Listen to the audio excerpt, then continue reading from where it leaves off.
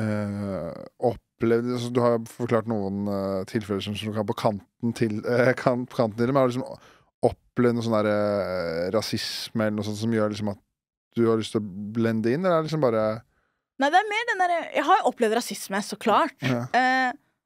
Og rasisme Jeg har opplevd det i form av litt sånn ubehagelige spørsmål på upassende tider.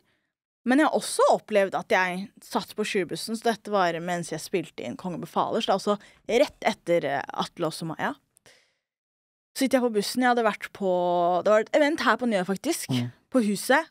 Og eh, jeg dro litt tidlig, for jeg var sånn «Ah, Jeg skal på opptak hele i morgen. Så jeg var sånn, vet ehm, kameraene er på liksom fra første sekund, så jeg bare Jeg er ikke så gira på å komme dit og være sliten og trøtt. Og noen av de oppgavene er jo vanskelige. Så jeg, jeg, drar, jeg, drar jeg dro ikke sånn klokka åtte, men jeg dro sånn i ellevetiden på en hverdag.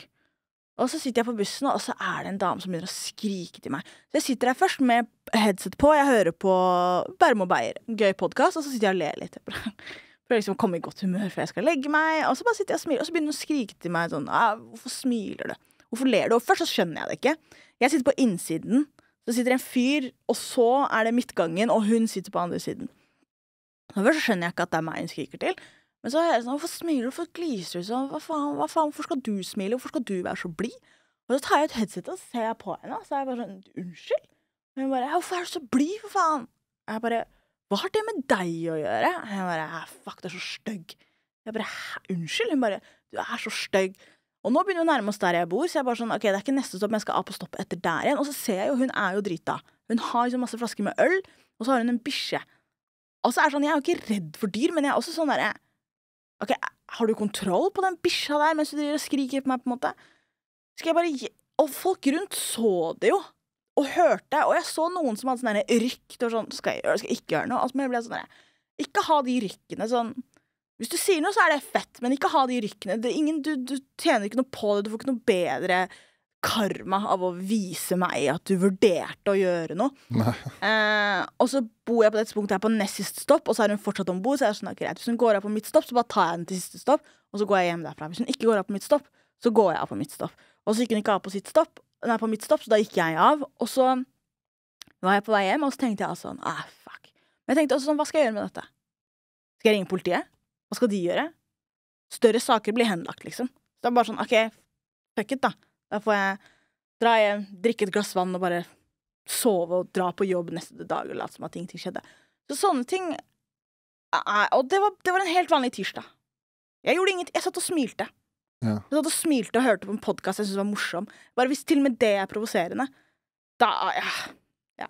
Så, så man opplever Man opplever eh, Opplever ting. Og det var også kanskje en av grunnene til at jeg var sånn der ah, Jeg har lyst til å komme meg litt vekk. Fordi at jo mer multikulturell by, jo mindre Tenkte jeg, da. Ja, At jeg kommer til å ha slike opplevelser. For jeg kan bare se for meg sånn herre For jeg har jo åpenbart ikke opplevd det selv, da, men jeg var sånn herre Det var én gang Det er eneste gangen jeg liksom har vært eh, har brutt så sånn her Det kan du ikke si. Og det var sånn her, jeg, var, det var, jeg, var, jo- jeg skulle med datteren min på en annen legesjekk. Og det her selvfølgelig er sånn det er sikkert sånn man opplever, da. Eh, og det bare at da var liksom dama bak skranken på legekontoret. Da var det en dame med hijab. Altså sånn, sånn spørsmål sånn Er det ikke varmt i den der? Ja. Sånn, skjønner, skjønner du hva jeg mener? Og det er, sånn der, det er så, så jævlig kvalmt, sånn provoserende å høre på sånne derre Sånne sykt, sånne der sykt rasistiske undertoner. Ja. Liksom sånn Så jeg bare Jeg kan liksom ikke se for meg hvor kjipt det må være, da, på en måte. Ja, og det som også er at det skjer jo også hele tiden. Mm. Man, får- man får kommentarer, og så er folk også noen ganger så er det sånn her Ja, men prøv å være på den sikre siden, for hvis vi spør 101 av dem, og så er jeg bare sånn Ja, ikke, men det er skitt for de 99 andre for det, ass. Ja. Selv om du tror du er på den rette siden. Men, Mm. men det er veldig det er, Og det, det som er de, de store aggressive tingene, de skjer, men det, det, er med jevne mellomrom. Det er verre med de der små, irriterende som skjer hele tiden, hvor du er bare sånn herre Må jeg forklare det? Mm. Eller liksom Må du anta akkurat det? Eh, og det prøver jeg med humoren min noen ganger også, å kommentere på de tingene, men jeg setter meg selv i den absurde situasjonen, sånn at du da er sånn her OK, du lo av meg, og så er du sånn OK, det er jo ganske psycho av han å reagere på den måten der. men det er jo litt sånn som vi reagerer på andre ting også. Eller jeg hadde en vits eh, Og vitser er morsommere på scenen, så folk må Jo, jo, lytter, så husk at det er morsommere på scenen. Men eh, det var en periode jeg sa setningen sånn eh, Jeg har det samme forholdet til bønder som Frp har til utlendinger. De har ikke gjort meg noe, men jeg er redd for dem. ja, ja, det er gøy. Ja. Ikke sant? Hvor det er sånn, ok, det er Mm. absurd at jeg står der og sier at jeg er redd for bønder. De har bokstavelig ikke gjort meg noe. Og så er det sånn, ja, er ikke det absurd? Ja, ja. Er ikke det absurd at jeg står og sier det? Mm. At humoren min er faktisk mer sarkastisk enn hva man skulle tro. Fordi ved første øyekast, eller liksom første gang du hører det, så er det ok, greit, en blid, smilende jente som bare prater om at ah, det er litt morsomt at hun er redd for bønder. Ja.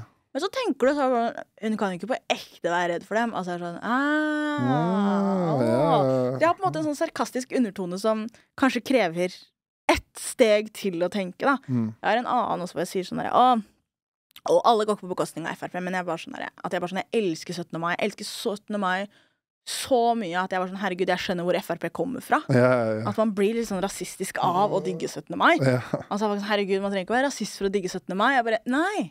Ikke sant? Hva? Så, så jeg kan få lov til å like 17. mai. Ja, ja, ja. Betyr at du også kan like 17. mai uten å være rasist. Det er liksom sånn der Når folk er sånn Hani, så er det sånn Ja! Skjønner du hva jeg prøver å si? Ja, ja.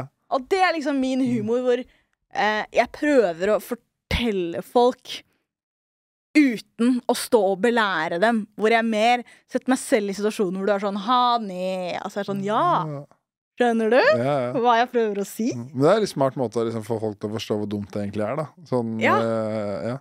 Det, det, funger, det fungerer. Og det jeg også gjør, er at jeg, jeg gjør meg ikke selv til en dum karakter. Nei, jeg mente ikke deg. Nei, Men jeg mente liksom det budskapet ditt gjør det så tydelig Altså si, si, altså, si at eh, jeg ikke liker deg for det, hudfargen din, da. Ja. Og så da får du det så tydelig fram med de vitsene, akkurat Ja. hvor dumt det skulle være. Det er akkurat det. Og før jeg sier den setningen, så fremstår jeg som en intelligent og reflektert person.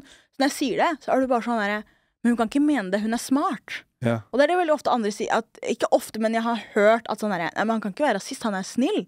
Mm. Og så er det sånn OK, greit. Jeg er ganske snill. Ja. Den tingen jeg sa, det var litt rasistisk. ja, ja, ja, ja. Eller hvis bønder hadde vært en rase, så hadde ikke det vært greit. Ikke sant? Men jeg er ikke noe dum, som betyr at smarte mennesker kan ha disse tankene. Mm. Smarte mennesker kan mene disse tingene her. Uh, og det er derfor jeg driver med standup og ikke skriver kronikker. Yeah. Fordi I kronikk så hadde jeg ikke klart å få frem det poenget, for da hadde jeg følt at jeg måtte overforklare. Mens i standup kan jeg bruke blikket mitt. Jeg kan liksom hjelpe publikum å komme til den konklusjonen om at Litt større verktøykasse. ja, og være sånn Det er en tullete ting. Jeg bare Er det det? It was all part of my plan. ja. My masterplan. ja. Uh, men det er siden vi er inne på sånn derre Jeg føler liksom Sånn som du har vært på Du har vært på P3 Morgen, Kongen befaler eller Soloshow liksom, du er, Nå som du liksom er litt i media og sånn, da, så har det vært sånn herre mye skrive og snakke om at uh, At det er veldig Altså, altså kvinnelige komikere kan få mye hat og stygge kommentarer, sånn som med Martha Leivestad, som var helt på trynet, liksom, steng kommentarfeltet. Er det noe du Har du fått noe liksom, på det etter Kongen befaler, eller er det, eller er det gått bra? Jeg er ikke like godt eksponert som det Martha Leivestad er. Martha Leivestad har et mye større publikum enn det jeg har. Ja. Så hun treffer også mye bredere, og da kommer det mye mer hat. er Jeg har fått noen DMs, men de er som regel morsomme. Jeg, ah, ja. Nei, det er bare sånn Det var en fyr som sendte meg en DM som var sånn 'Halla, du er ikke morsom'.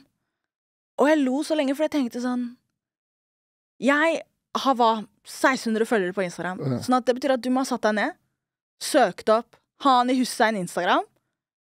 For jeg er ikke stor nok til å bare dukke opp. på en måte Så du må sånn, ok, Først må du google, ja, ja, og så må du inn på Instagram, og så er det sånn Stemmer det, er det riktig? Ja, ja, det står komiker. Ok, Sende melding. Halla! Utropstegn. Du er ikke morsom. Send! Og bare være sånn Åh, der var dagens gjerning gjort! Og så gå videre med livet ditt. At det er bare så Det er så jævlig sånn der Fortell meg at du har et trist liv uten å fortelle meg at du har et trist det liv. var, det var litt det jeg tenkte. Og så er det jo ingen som har gått på noe ekte. Nei. Ingen har gitt meg noe Det har ikke vært noe god kritikk. Det har ikke vært sånn herre Å, den ene tingen jeg er veldig usikker om, den har de kommentert på. Det har bare vært sånn Du er ikke morsom. En eller annen sendte meg bare eh, mellomfinger-emoji, en langefinger-emojien.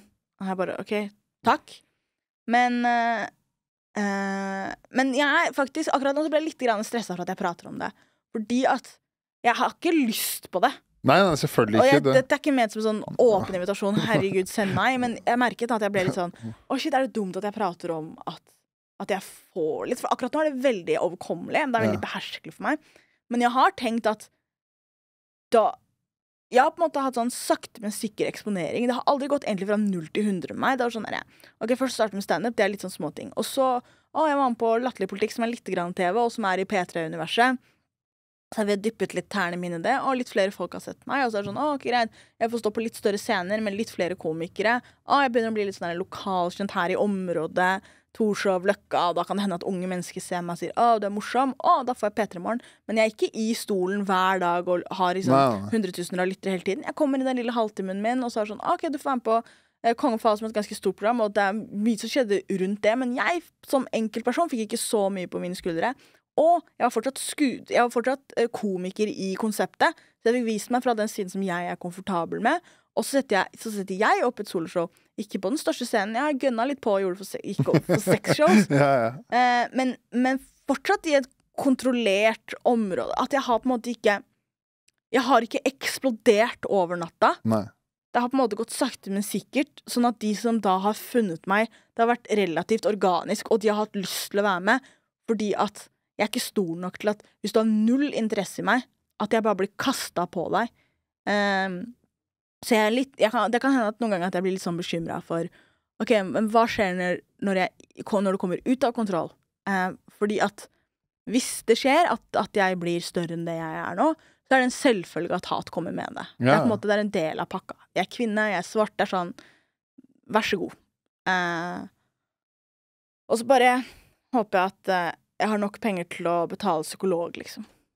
Ja. Når den tid kommer. Men eh, da må du Ja, det er seks show. Da blir det har råd til et par timer, da. Har råd til noen få timer. ja.